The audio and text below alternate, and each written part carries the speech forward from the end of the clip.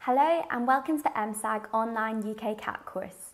In this video, we will cover the basic ideas behind Venn diagrams, including either or questions and what it means for a number to be in two categories. Just a warning, the Venn diagrams in the decision-making subtest of the UKCAT are a bit funkier looking than the ones you are likely to come across in textbooks. But don't let that put you off. Try to follow the simple approaches that we tell you about in this video and keep on practicing. Our objectives over the next five minutes or so are to describe every section of the Venn diagram and prepare you for the trickier Venn diagram questions using an example. So what do the Venn diagrams on the UKCAT look like? Here's a good example. Try to tackle the question that is on the screen now and see how you do. Your target should be about 30 seconds to get the answer.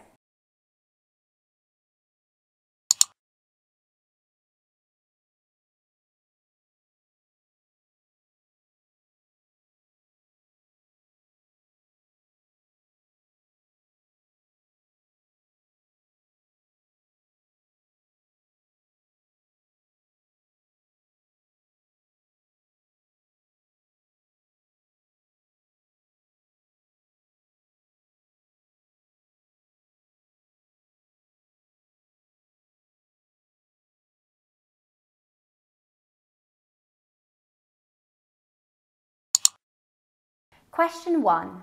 Harry studies the genres of books in his sixth form library. He compiles the Venn diagram shown. How many books have been categorised as belonging to exactly two genres? 12, 13, 25 or 49? Did you get 13? That is the correct answer. One of the hallmarks of a decision-making Venn diagram is the presence of multiple overlapping shapes. As you probably know, a number appearing inside two or more shapes means that the number represents individuals of objects that are in all of the overlapping categories. For example, the three in the Venn diagram shown represents books that are both romance and fantasy. If a number is inside none of the shapes, as the number 7 is, it belongs in none of the categories given. You might have gotten 25 as your answer to this question. This would be because you didn't spot that one of the 12s that we can see is in fact inside three overlapping shapes, those that correspond to fantasy, horror, and sci fi. As the question was asking for a number of books that fall into exactly two categories, these 12 books do not count. Instead, we have three that belong to both romance and fantasy, plus five belong to fantasy and sci fi, plus another five belonging to fantasy and horror. Attention to detail is the key when tackling Venn diagrams. When you see more than two shapes, so in our example where sci fi, horror, and fantasy overlap, be extra vigilant and focus on this area in particular. I advise taking a moment to look at this area and separate the overlapping values accordingly in your minds.